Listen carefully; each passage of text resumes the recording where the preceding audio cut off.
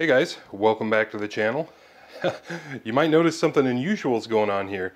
This isn't a laptop, and for that matter, it's also not used. This is a brand new, and you can see it's still got the little protective plastic film on the front of it and everything. Brand new Dell Inspiron 3671. Also known as the cheapest brand new Dell you can buy that's still like a regular size tower form factor. They make one that's like 30 bucks cheaper, but it has like a slim profile. So this is the cheapest one you can get that's still a full-size tower. This guy was a Christmas gift from my mother to my father, and at Christmas time it was 400 bucks. I think right now it's on sale for like 420, 430.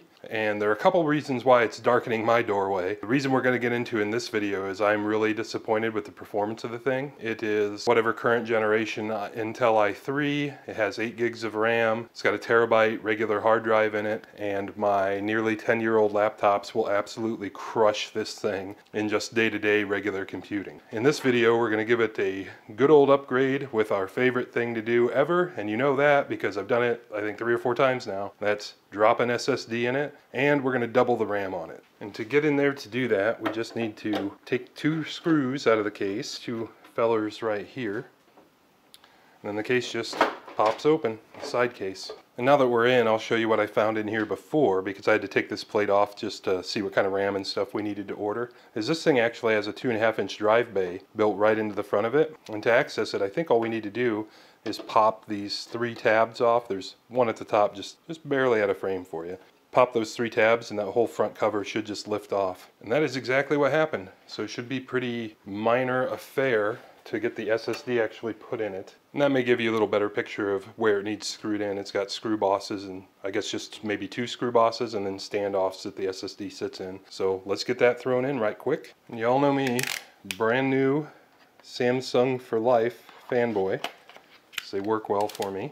And you may be asking right off the bat of this video is, hey, why didn't you just order it from Dell with more stuff in it? And I looked at that. The total price for this 500 terabyte SSD and the additional 8 gigs of RAM was like, I think 80 or $90. And just getting an extra 8 gigs of RAM from Dell put you into an entire new class of machine and I believe the price went up by 200 bucks just to do that that this machine went from 400 bucks to 600 bucks just because I wanted to double the RAM. It came with extra stuff too that I didn't want, like a faster processor, because same story, I can buy one of those and put it in cheaper than they'll sell it to me anyway. So that is what steered us where we're going. And it looks like everything should fit nicely, I hope.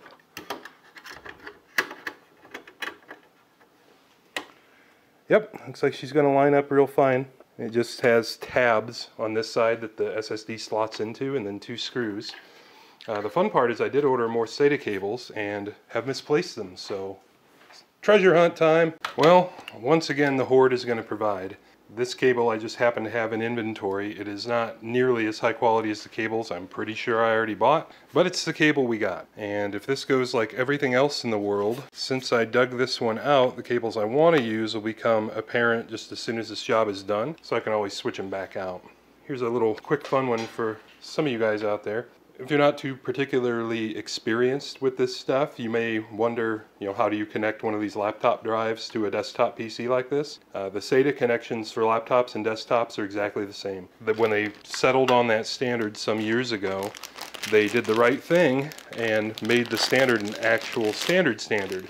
So all I need to do for my purposes here is get a SATA Y power tap so I can plug one into this into the power supply of the computer and get two powers back out because they didn't give me any spares from Dell. So in this guy, and some of these cables come with these locking features, some of them don't. Uh, I kind of like the ones that do. And because of where this drive is going to be installed, I've got one locking feature only. I'm going to put it on the drive end just to keep it hanging on tight while we could jigger with it and everything else. And then we'll go ahead and put our power Y on it as well, and we'll get that all connected before we bolt it in just to make our lives a little easier. Speaking of making our lives a little easier, since I knew this job was coming, I bought one of these little PC screw assortment kits, and I never needed to buy one of these before because for ages and ages, every time you would buy a new drive of any kind, they would ship you a little pack of screws with it. It was always way more screws than you needed And after a long enough timeline of doing this kind of stuff, you build up a pretty nice inventory of stuff like that. And I did. I had a nice like coffee can full. But then one day somebody decided they needed it more than I did, and it's been gone ever since. And these screws are just a little longer than I would like. They are threading in nicely, but I don't think there's enough meat in the case to get them tight without like being tight tight. So we may have to put some washers on them just to pick up some clearance because that feels like it's all the tighter I want to get it. We'll give it a shot and we'll see what happens. Actually, before we do that, we're going to go ahead and slap in the additional stick of RAM that goes right there because the SATA connectors are right down here on the board. And once we get that way too long cord stuffed in here, because it's the only one I could find, we won't have nearly as good of access to install the RAM. For your reference, this is Crucial DDR4 2666 speed UDIMM 8 gigs. I went with Crucial because it was basically the most affordable thing that wasn't just straight up generic or used. No other real reason. And these are keyed. If you've never if you've never done this before, these little tabs are the locking tabs. You have to make sure they're snapped open to be able to put the SIM in or your RAM. And there's also a tab in the connector for like every one of these, no matter what kind it is. There'll be a hole in the connector somewhere, so you can only put them in one way. I think I've got it oriented correctly. And then usually the thing to do is just make sure it's lined up well. There we go. I can see it's in the notch and everything. You just give it a nice push, and sometimes you got to push pretty hard. It's kind of scary. And it should just pop down in there, and those locks almost always will pop up on their own. Like, yeah, you can see that one's starting. So I need to apply some more pressure to this side. Yep, there it goes. And then there that goes. Nice positive sound, clicky, snappy noises. That's doubling our RAM capacity. Now you can see why I didn't feel like paying Dell a whole bunch of money to do that for us. So now it's time to drop the SSD in it. I've just noticed that Dell gave us this nice wire clip in here that they've got the existing hard drive wiring stuffed into down to the ports.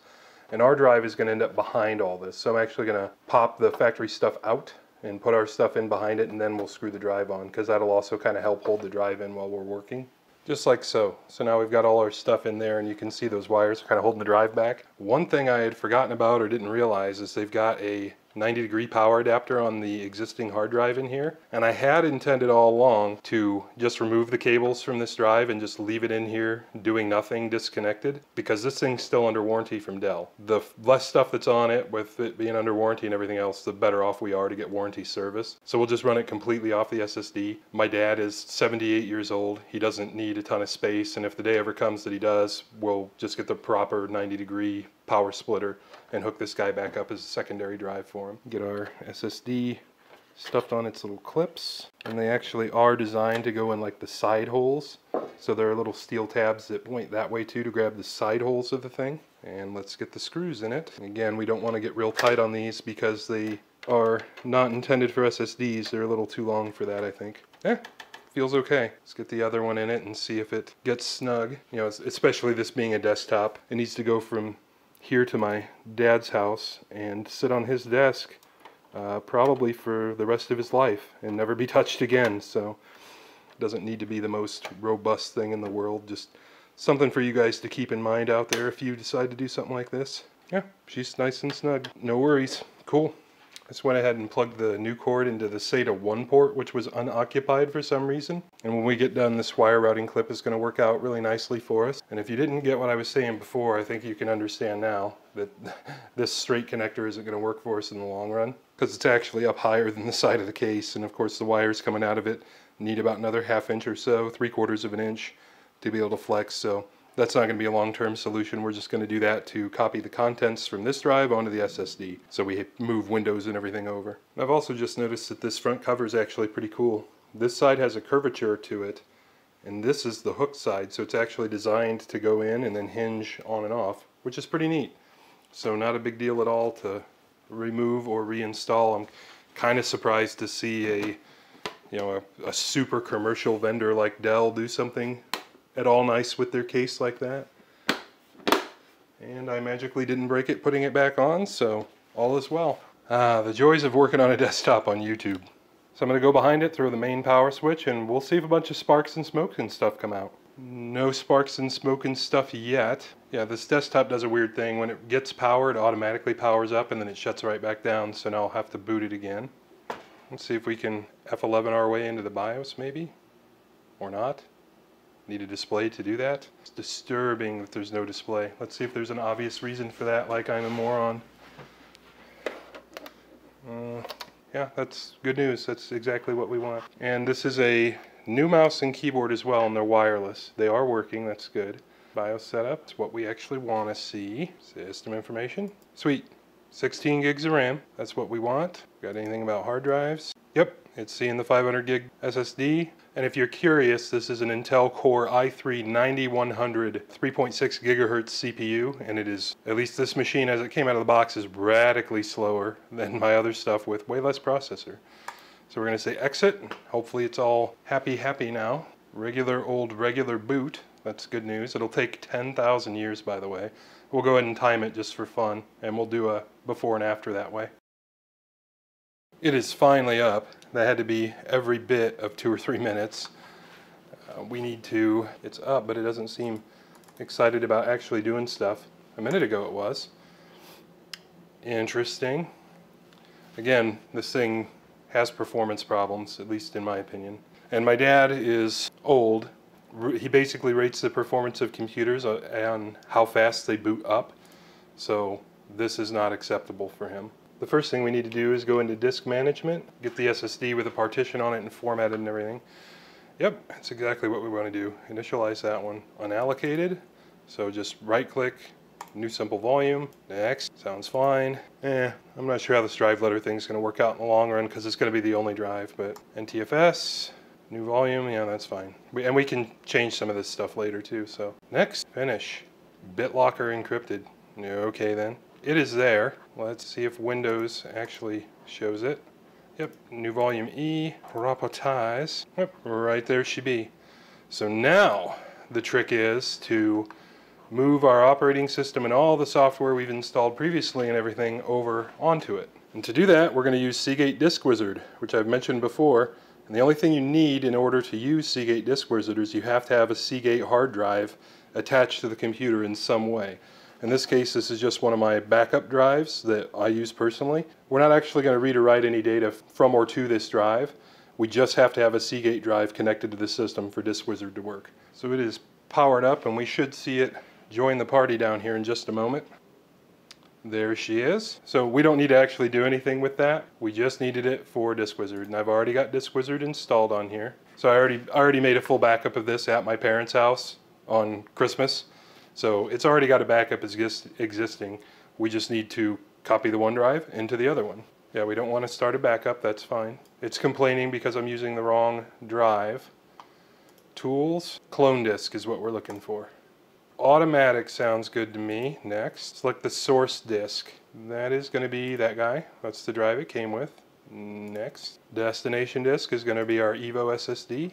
Next, so I guess I probably didn't have to partition this before because it's telling me it's going to delete the partitions. So eh, live and learn. DiscWizard will do this for you. So we didn't need to do the disk management stuff. Okay. It's giving us like a before and after picture of what's going to happen to that drive. And I'll take this minute to note, make sure you select the right drive. You know, I wouldn't want this thing to overwrite my backup drive.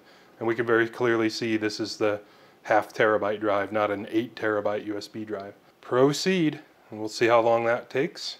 Huh, I did not see that one coming. So whatever BitLocker is, it uh, requires a reboot because the volume is encrypted with BitLocker. Please use Seagate bootable media. So I may actually have to format a USB stick to boot the Seagate environment. We'll see. It looks like, yes, that's what's going to have to happen. And just for the lulls, I dug up my first USB stick. This thing is 128 megabyte USB stick. This is the first one I ever got. I actually got this as a Christmas gift one year. Let's see if it's actually big enough to make a rescue media. I kind of doubt it, but we'll find out. It's detected it. That's good news. Let's see if we can just build a rescue media, quote unquote boot disk. Let's adjust it. Windows PE based. I do not really want to build that kind of, let's go back. Let's go with the Linux, Linux option. It should be smaller too. Choose media destination. Lexar. Uh-oh. Need 605 megs. Oh well, we tried. Now we've got a good old-fashioned 32 gig stick in it. Shouldn't be any more trouble. Let's start this process over to make sure it recognizes the right stick. Let's go advanced, Linux based, sounds good. Might be at that for a little while.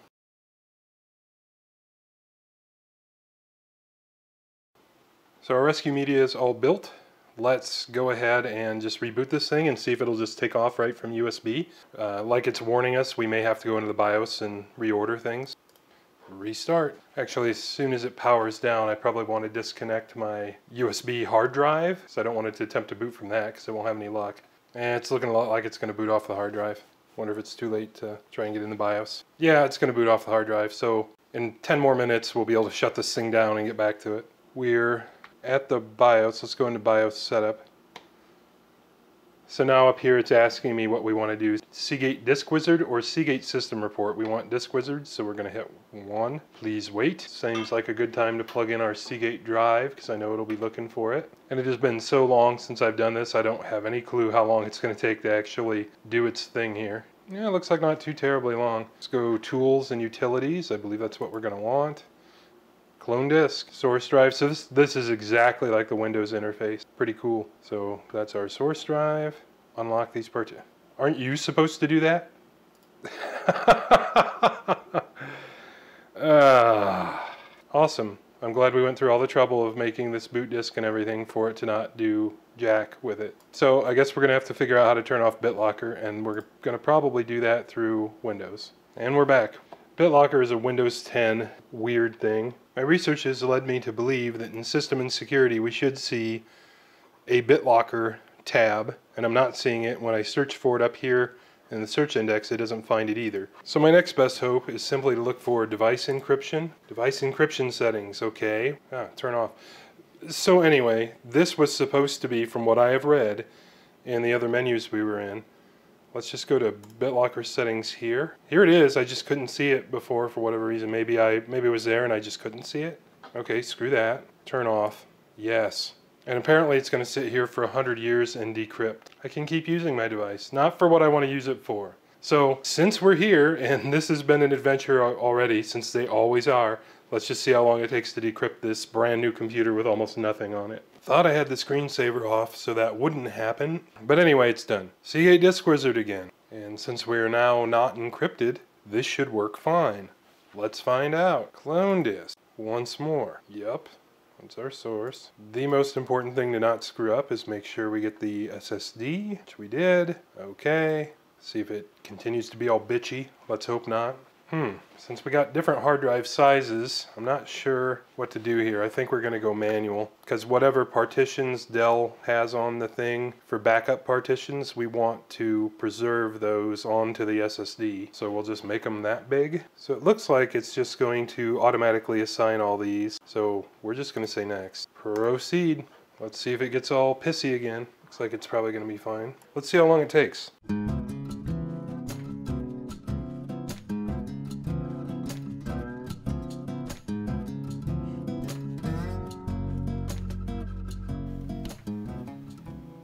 I'm assuming that it's going to boot into its own little thing here and then actually do the cloning. I don't know if it cloned or not because obviously I wasn't standing here. So we'll see. Looks like it's done. Time to shut it down and make the SSD our only drive. Except it doesn't look that way at all. I don't see the SSD here at all. So let's restart it again and I will stand here this time and see what it does. Did not appear to do anything. Still don't see it. Let's go into disk management and see if it's even there. It says it's here. Just wonder if it doesn't know what to do with it. Okay, well let's shut it down and make it the only drive. That'll That'll clear things up. Okay, so the SSD is the only thing in there. I see a hard drive light flashing. It's booting really fast. Wow. That is a huge improvement. wow. That is nuts. That was like 15 seconds down from a couple minutes. That was crazy. So anyway, that worked. I was going to explain while it was booting that I also plugged the SSD into the USB 0 port on the motherboard and I'll I'll flip it over and show you guys all that stuff here in a minute. But wow, that was incredibly fast. That was so fast, we're gonna have to do it again, just because I'm amazed.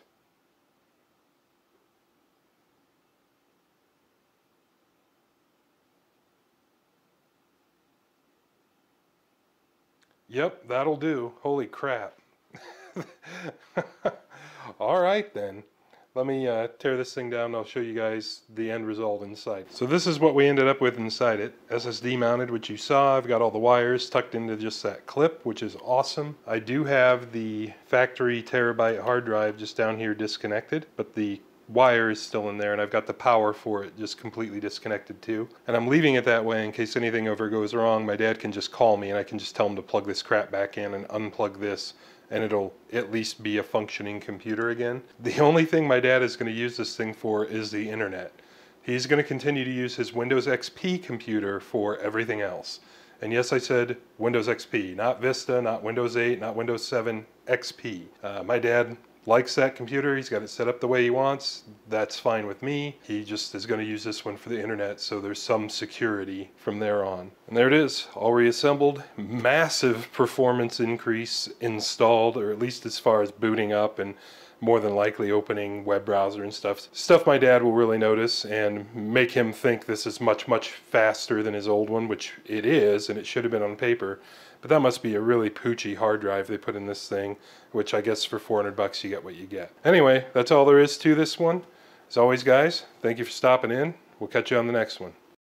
I'm Max, that's Saddington Bear, and we make videos like this all the time. Here are a couple links to some other videos we've made, and we really appreciate you guys stopping in.